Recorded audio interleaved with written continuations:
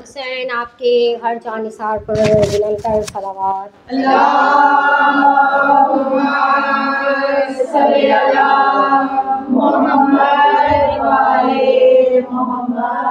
दिए इमाम ज़माना बाबा से बुलंदर सलावात।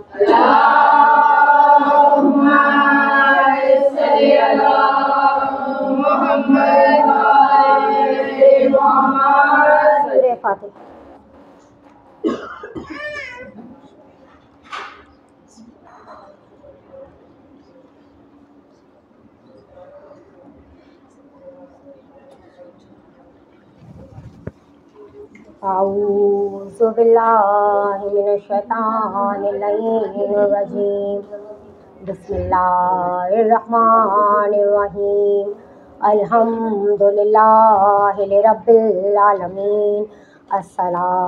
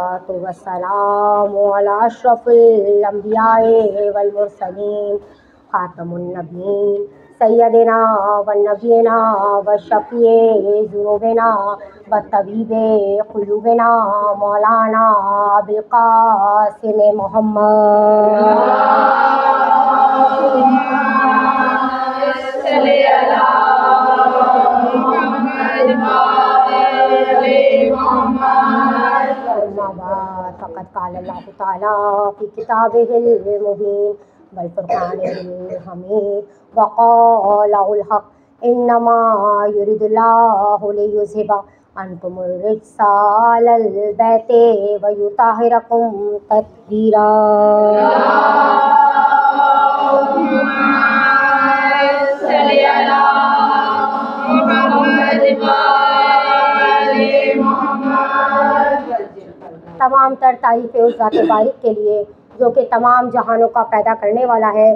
या रब, तेरी अजमत का ज़बूर एक जरीदा। या रब, तेरी अजमत का ज़बूर एक जरीदा। तौरैत तेरी हमद है अपना यकीदा। और इंजील में लिखे तेरे औसाफ हमीदा। क़ुरआन हकीकत में तेरा एक कसीदा।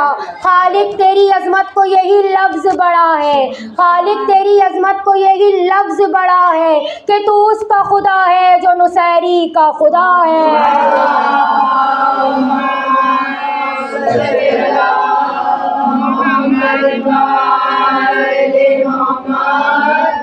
तमाम दुरुद सलाम हो मेरा मोहम्मद वाले मोहम्मद पर। रहमत की बारगाह में रहमत खुद ही भेज। रहमत की बारगाह में रहमत खुद ही भेज और असमत के आस्थान पे सलवात खुद ही भेज। मालिक हम में ये ज़र्फ कहाँ कि उन पर पड़े दुरूद, जहरा के ख़ानदान पे सलवात खुद ही भेज।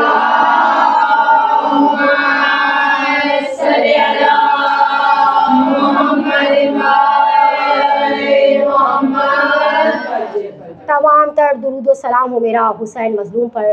खुशी से मैंने ख़रीदा ये गम हुसैन का है। खुशी से मैंने ख़रीदा ये गम हुसैन का है और मेरे ज़मीर की छत पर अलम हुसैन का है। किसी यजीद की मिदत मैं किस तरह लिख दूँ? ये हाथ मेरा सही पर कलम हुसैन का है। कहाँ तेरा यजीद? कहाँ मेरा हुसैन? तेरे यजीद ने काटी जड़े शरीयत की। मेरा हुसैन शरीयत को आम करता है। तेरे यजीद पे मखलूक ने भी लानत की। मेरे हुसैन को खालिक सलाम करता है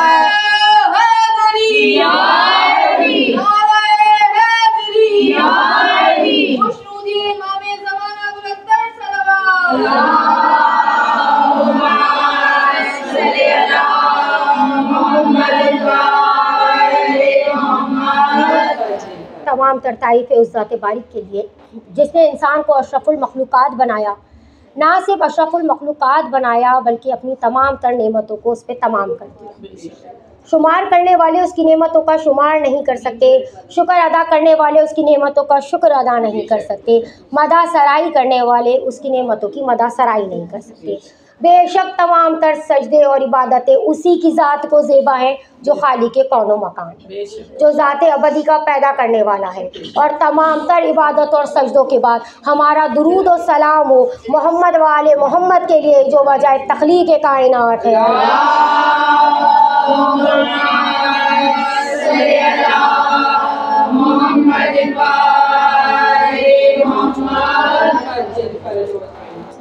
इरशाद रसूल खुदा हो रहा है।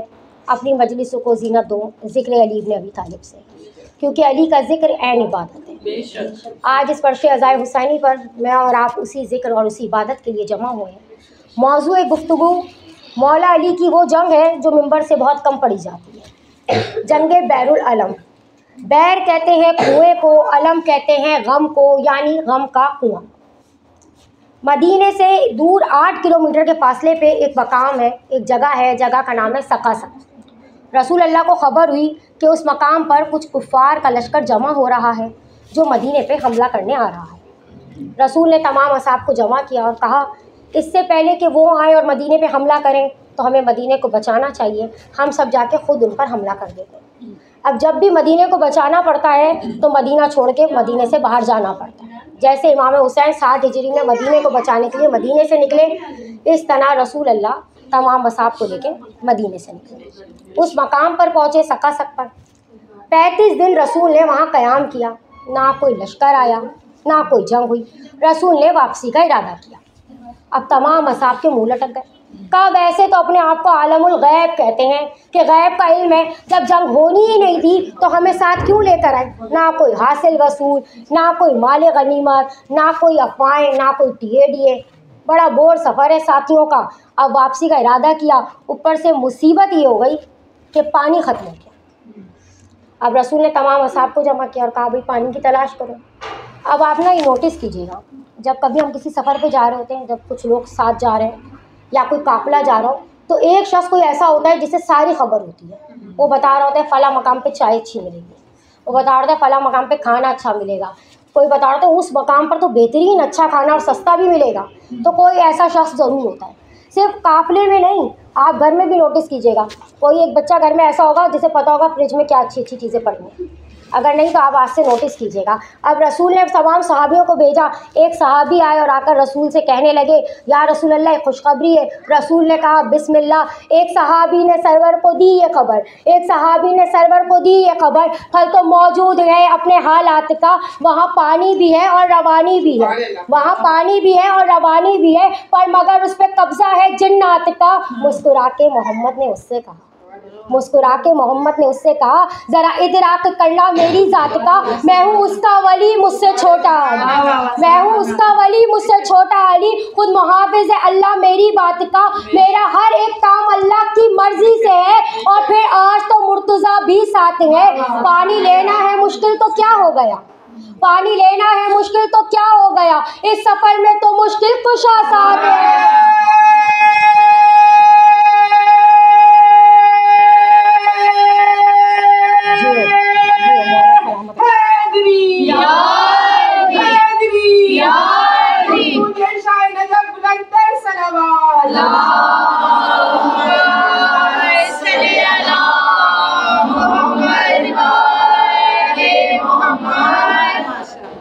इस सफ़र में तो मुश्किल कुशा साथ है।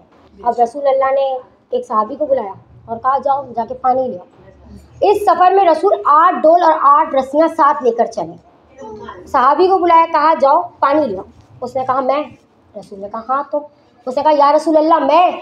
कहा हाँ तुमसे कह रहा हूँ, तुम। उसने कहा, या रसूल अल्लाह आप मुझे इतने सालों से जानते हैं। मैं बहुत अमन पसंद शहर हूँ। लड़ाई झगड़ा मुझे बिल्कुल पसंद नहीं। मैं मैदान जंग में जाके कभी नहीं लड़ा। आप कह रहे ना नज़र आने वाली मखलूक के पास चला जाऊँ। रसूल ने कहा, ये मेरा हुक्म है। मैं नहीं जानती रसूल ने क्यों हुक्म दिया। सहाबी गए, वापस आए, आकर कहा, रस्सी कट गई, डोल गिर गया, काटने वाला नज़र नहीं आया। रसूल ने दूसरे साहबी को भेजा, सब जाते रहे, आते रहे, आकर ही कहते रहे, रस्सी कट गई, डोल गिर गया, काटने वाला नज़र नहीं आया, कोई अनदेखी मखलूक है। अब भाई, जन्नात का तस्वुर हकीकत है। कुरान ने खुद कहा, हर जगह कहा कि मैंने और जिन इंसानों को इसलिए पैदा किया कि वो मेरी इबादत करें। खुद कुरान का बहत्तरवा सूरा सूरह जिन। एक दिन रसूल मस्जिद में बैठे हुए थे और सूर्य रहमान की तिलावत कर रहे थे कि वहाँ से एक जिन का गुजर हुआ। उसने रसूल की जो तिलावत सुनी सूर्य रहमान, जिसमें जिन और इंस दोनों को मुखातिब किया जा रहा है, उसके कलाम जो है उसके दिल पे बड़ा असर हुआ। उसने जाके अपने कबीले वालों को बताया, ऐसा कलाम सुनकर आ रहा हूँ जो ना आज से पहले कभी पढ़ा, ना सुना। तमाम कबीले के जन्नात को लिया और जाके कलाम सुनाया। सबने कहा किसका कलाम है? कहा, भाई, मोहम्मद आए हैं मदीने में। जो नबी, उनका कलाम है। सबने कहा, भाई, अब हम मोहम्मद के हाथ से बैत करेंगे और सब मुसलमान होंगे। ये जो जिन्नात होते हैं ना, ये नाइन्टी परसेंट मुसलमान होते हैं। ये टेन परसेंट जो मुसल, वो जिन्नात हैं, बस वो मुसलमान हैं। अब तमाम जिन जमा हुए और रसूल के पास आए, रसूल के आपने बैत की और मुसलमान हुए। जिस मकाम पर रसूल के पास ये जमा हुए, वो मक्के से बाहर एक मस्जिद है, जिसे मस्जिद शजरा भी कहा जाता है, जिसे मस्जिद फ़तेह मक्का भी कहा जाता है। जिसे मस्जिद जिन भी कहा है अब रसूल के हाथ पे बैत की। ये ज़रूरी था कि रसूल के हाथ पे जन्नात बैत करें। क्योंकि सलेमान नबी जन्नात पर हुकूमत करते थे। रसूल रहमतुल्लिल आलमीन थे। किसी एक तबके के लिए नहीं थे। अब रसूल तमाम तबकों के लिए आए थे। हर कबीले के लिए आए थे। हर आलमीन के लिए आए थे। तो नबी को सलमान से अफजल होना था। इसलिए ज़रूरी था कि जन्नात नबी के हाथ पर बैठ कर। अब जैसा नबी है, वैसे उसका वसी भी होना चाहिए। वैसे उसका जानशीन भी होना चाहिए।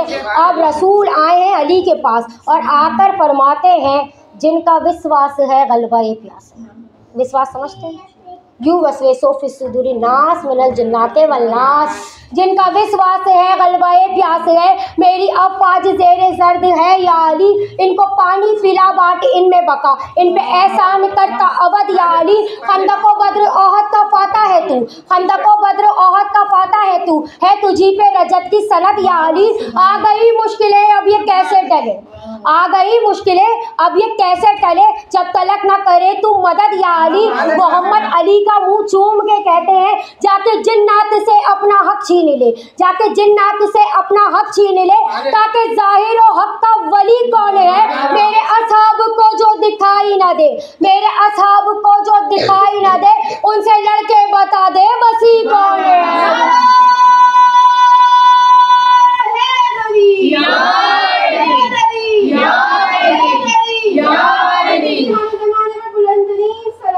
अब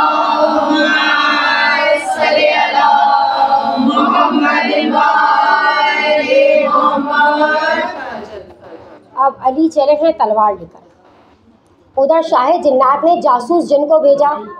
कहा जाकर देखता रहो अब कौन आ रहा है? जासूस जिन गया और हाफता कापता वापस आया। और आके कहने लगा अब जो आने लगा वो डराने लगा। अब जो आने लगा वो डराने लगा। उसके चेहरे उसके चेहरे से जुर्रत नमूद आ रही है। उसके कदमों से लिपटी हुई है कज़ा। उसके हाथों में अल्लाह की तलवार है। हम रकाबी नहीं बस सहाबी समझ रहे हम रकाबी नहीं, बस सहाबी नहीं, वो मोहम्मद के लश्कर का साल आ रहे हैं। मुतमई पुरसकू बेधड़क बाजलू मुतमई पुरसकू बेधड़क बाजलू, उसका चलना बताता है, कर आ रहे हैं। अभी देखा नहीं है शाही जन्नात ने। सिर्फ़ हुलिया सुना है, डर के जिन्नों का सरदार कहने लगा, अरे कहीं सचमुच वो नूरे जली तो नहीं?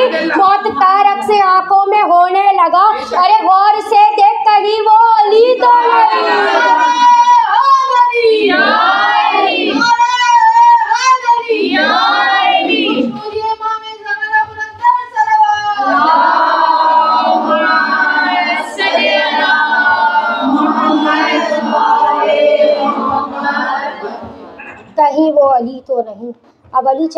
तलवार लेकर उधर इस्लामियत के लश्कर में चमक गई हूँ सारे लकर सारे टाइटल, सब अली को दे दिए मोहम्मद ने। सारे एजाजात अली को मिल गए। आज तो बात ही ख़त्म हो जाएगी। अभी तक इंसानों से लड़ता था, आज जिन्नात से भी लड़ लेगा। आज तो बात ही ख़त्म हो जाएगी। बस एक दफ़ा जनाब सलमान की निगाह पड़ी। सलमान मुस्कुरा के कहते हैं कि मुस्कुरा के ये सलमान कहने लगी। इसके दुश्मन अभी सर के बल आएँगे। मुस्कुराते हुए सलमान कहने लगे, इसके दुश्मन अभी सर के बल आएँगे। ऐसी उम्दा लड़ाई लड़ेगा अली आज कुएँ के जिन भी निकल आए। अब अली आए हैं कुएँ के पास। अब शाही जन्नात ने अली को देखा और कहा एबन आदम, वापस चले जाओ पानी नहीं मिलेगा। अली फरमाते हैं, मैं पानी लेने आया ही शाही जन्नात ने कहा, वापस चले जाओ, पानी मिलेगा नहीं। अली फरमाते, मैं पानी लेने आया ही नहीं, मैं कुआँ लेने आया हूँ। तूने मुझे गौर से नहीं देखा। जो पानी लेने आए थे, वो डोल और रस्सी ले आई मैं तलवार लेकर आया उसने कहा, मैं पानी नहीं दूँगा। अली ने कहा, हट जा मेरे रास्ते से, मैं तेरी औकात पानी पानी कर दूँगा। उसने कहा, कैसे कर देगा? मैं नज़र नहीं आऊँगा। ना नज़र आने वाली मखलूक से कैसे लड़ेगा? अली फरमाते मैंने तो तुझे कब से नज़रों में रखा हुआ है? उन्होंने कहा चला जाए अपने आदम मैं पानी नहीं दूँगा। अली फरमाते मैं अब तक तुझे समझा रहा था। अब मैं तुझे एक नसीहत कर रहा हूँ। उसने कहा, कैसी नसीहत? अली फरमाते हैं, पानी मेरी जौजा का हक महर है और जो कोई मेरी जौजा के हक पर कब्ज़ा करता है, खुदा उस पर लानत करता है। बस एक बार इसने ये सुना, ये घबराया और कहने लगा, तू कौन है? तू क्या है? तू अपना तारुफ करवा। अली फरमाते हैं कि मैं अल्लाह की बनाई हुई कायनात का अकेला हूँ। ये अली नहीं कह रहे। ये रसूल ने खैबर में कहा था, जब उनतालीस दिन तक जंग चली थी ना तो उनतालीसवें दिन रसूल ने कहा था कि कल मैं अलम मर्द को दूँगा। जो फरार होगा गैर फरार होगा। अली फरमाते हैं, मैं अल्लाह की बनाई हुई कायनात का अकेला मर्द हूँ। जब मैं गैज में आता हूँ तो लड़ना छोड़ देता हूँ। तो बड़ा ताजुब किया। कहा, ये कैसा बंदा है? जो गैज़ में आता है, लड़ना छोड़ देता है। इंसान लड़ता ही जब है, जब उसे गुस्सा आए, गैज़ हो, गज़ब हो, तू कैसा शख्स है? भाई, अपना तारुफ करवा, तू क्या है जो गैज़ में आकर लड़ना छोड़ देता है? अली वो फरमाते हैं कि, अली फरमाते हैं, जब मैं गैज़ में आता हूँ तो लड़ना छोड़ देता हूँ। भागना मेरी फितरत में शामिल नहीं। भागना मेरी फितरत में शामिल नहीं। मुझे कहते हैं कह रहे अलजली अर्श पर मेरी तलवार का वार फिर नारी करता है और तलवार का वार फिर नारी करता है और काटता है अदू ढूंढ कर। अली फरमाते हैं कि अगर गिनने बैठूं तो सदियाँ गुजर जाएँगी। गिनने बैठूं तो सदियाँ गुजर जाएँगी। मेरी ज़रूरत की इमसाल है इस कदर। कभी शाम और कभी खंदक कदर कभी शाम और कभी खंदक का दिन, कभी खैबर का दर कभी मरहब का सर। अली फरमाते, जब मैं गैज में आऊँ तो लड़ना छोड़ देता हूँ। शायद जिन्नात पूछता है, क्यों? अली फरमाते हैं, मेरी शमशीर यूँ चूसती है लहू। मेरी शमशीर यूँ चूसती है लहू, जैसे सहरा के होठों पे पानी पड़े और रोक लेता हूँ तलवार बस इसलिए, फिर न खालिक को दुनिया बनानी पड़े।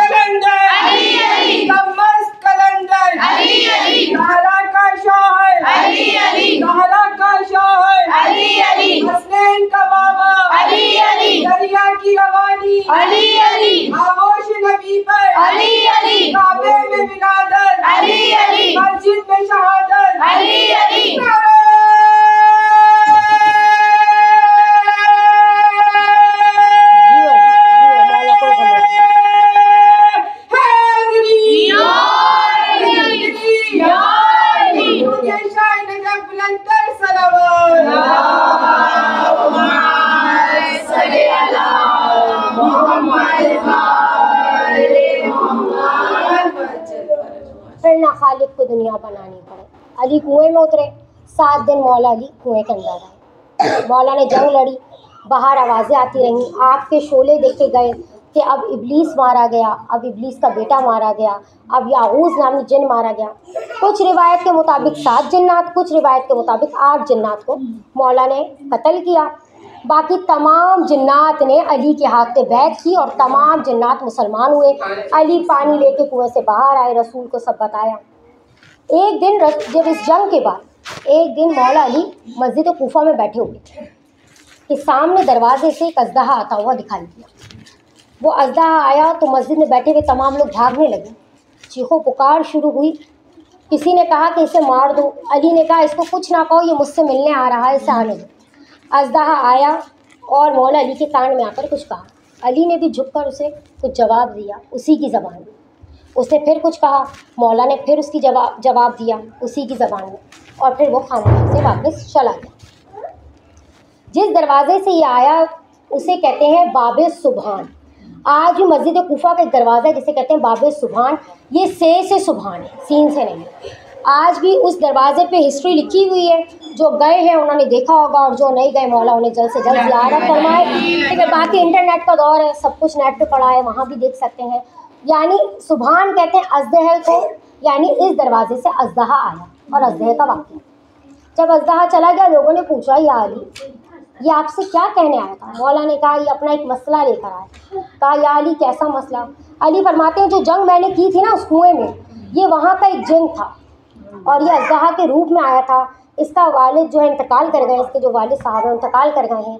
ये ये मसला लेकर आया था कि कबीले के सरदार कहते हैं कि अब जो उनकी जगह है, वो कबीले का कोई सरदार नहीं।